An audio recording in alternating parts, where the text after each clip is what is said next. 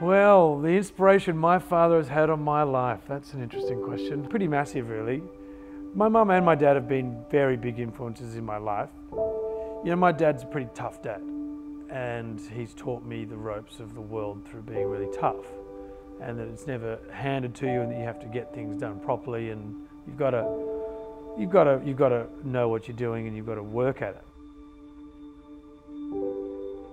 if you've got someone like my father that's done so well for so many years, you, you start to realize that it's less about the work and it's about the drive and it's about how dedicated to that you are. That there are people that care and love about what they're doing and they're putting their own personal um, touch and their own personal feelings into a wine, whereas with an artist, they're doing the same thing.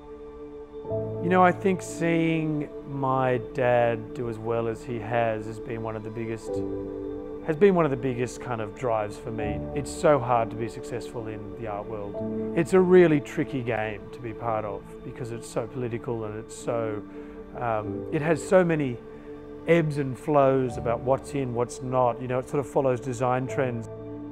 Things that my dad that he's made in his career that really kind of get me going. Uh, he just loves objects, loves the history of objects.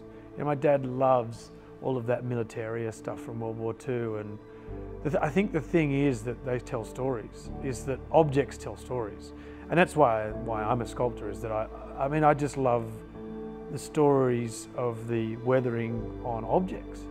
You either love looking at things with your eyes or you don't, and if your father does a lot of looking, you end up doing a lot of looking.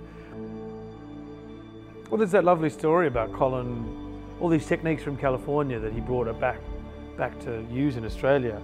It's again, it's a beautiful story of someone already having almost a knowledge of that in the back of your mind, so that when you're going through parts of your life, you're picking up bits and pieces from it and putting it into your own process my father, he does 2D so well, that's why I do 3D. But that's not why, it's that I love to look around an object. You know, and you might have the same correlations with the son of a winemaker, you might want to round out the flavours.